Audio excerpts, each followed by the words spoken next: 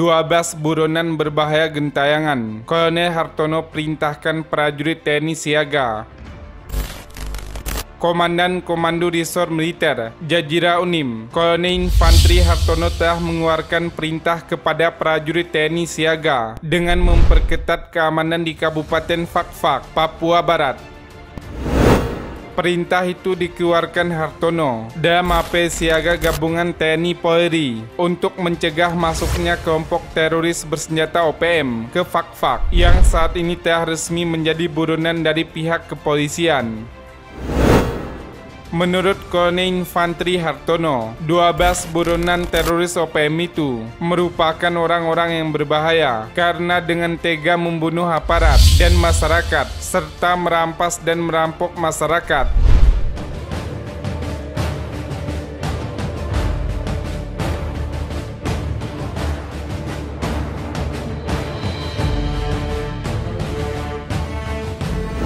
Perwira TNI Angkatan Darat itu juga berpesan kepada masyarakat apabila melihat 12 buronan OPM itu dan orang-orang yang tidak dikenal yang mencurigakan agar segera melaporkan ke pos TNI dan kantor polisi terdekat.